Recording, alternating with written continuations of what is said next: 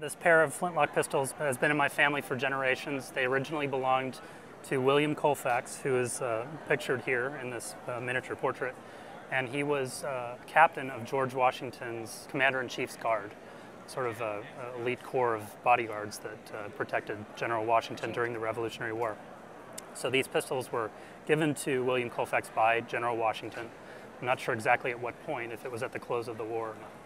This is a pair of pistols that are Queen Anne flintlock style, continental, uh, from 1770 to 1780. They are inlaid with German silver and they have uh, a grotesque head, also in German silver.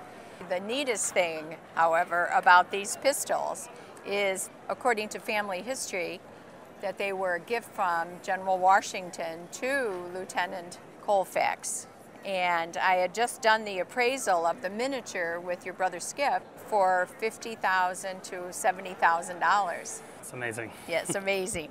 but the pistols, uh, even without that association, are worth about $5,000 in and of by themselves. It's amazing.